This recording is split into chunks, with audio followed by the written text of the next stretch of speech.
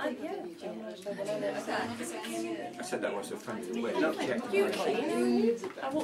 No, don't. Oh, you go. Yeah, yeah. You've been on all night, haven't you? Honestly, it's about time to. She's on a boat away from mine because it's really far away. Pushing away, that's it. There's that big V-shaped hole inside. Oh, yes, I'm here. Um, I mean, quite a big whiskey safety. So,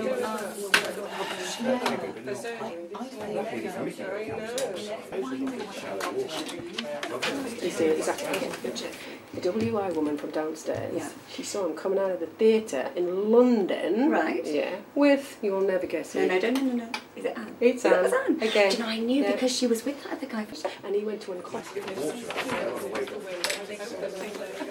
very good sort of map thing at the bottom of the hull. So that when the water comes back in, it's more Anything I need to know? Can we get onto the bed stage, please? Don't worry about that, dear.